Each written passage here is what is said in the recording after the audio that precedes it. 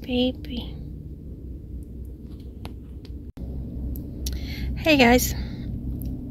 We, we just left our first trunk or treat of 2022 and Lord have mercy. It was a huge one. June's almost asleep in the truck. We stopped at the Dollar General to get some drinks because uh, we were in line forever. Luckily, we got there early. I'm so glad we did because, whew, I mean, there were thousands, probably close to 2,000 people there. The line was still all the way down the sidewalk when we were leaving. And they, they it was car lots and some other businesses in the town um, donated towards it, and they spent $11,000 on candy. And you could go through it once for free, and then you could pay a dollar for a donation for a food drive to go back through it. we only went through it once because we have little kids. But I told Devin if the kids were older, we would definitely pay a dollar and went back through it because we would have got so much candy. I mean, June's bag and Jessie's bag is probably like five pounds each. It's a ridiculous amount of candy. We're we like we wouldn't even have to go anywhere else this year, but of course we will because we're making memories.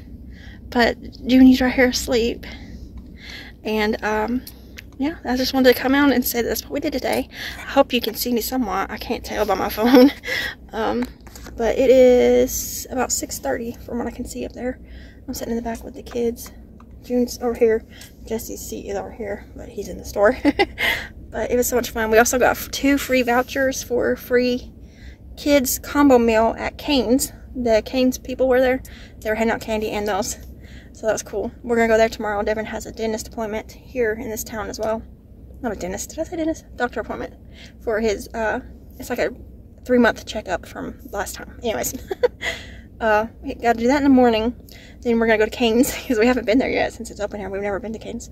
Um, and I told him I was like, well, that's the perfect reason to go because we get Jessie free free food. Um, and then we got we're gonna go to the pumpkin patch tomorrow, and we're hopefully gonna go with my sister and her family. They're gonna try to meet us there. And then there's another trunk or treat tomorrow night. So we're busy.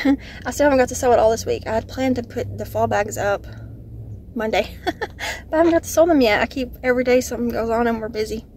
So I'm hoping to get them done this weekend and up early next week maybe.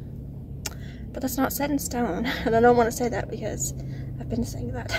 but anyways, we've had a good day. We got a lot of candy. And I can't wait to pick through it and get some yummy things for myself.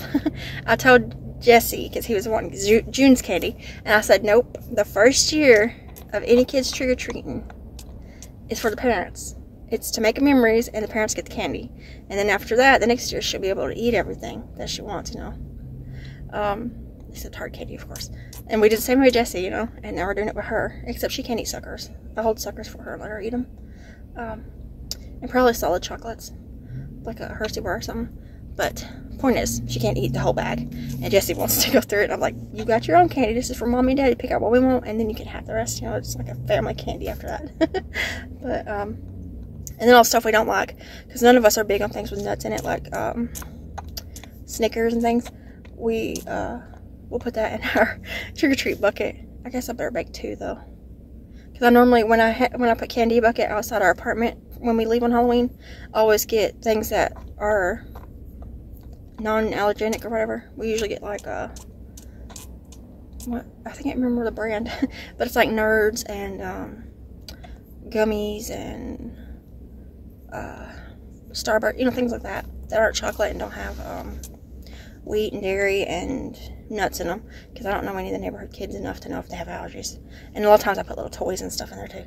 But I'll, I might have two bowls and have one with the nut stuff and one with the other stuff, everything else. Anyways, I'm blabbing now. I'm gonna go ahead and get off here because I'm going to get a drink of something when Devin brings out here.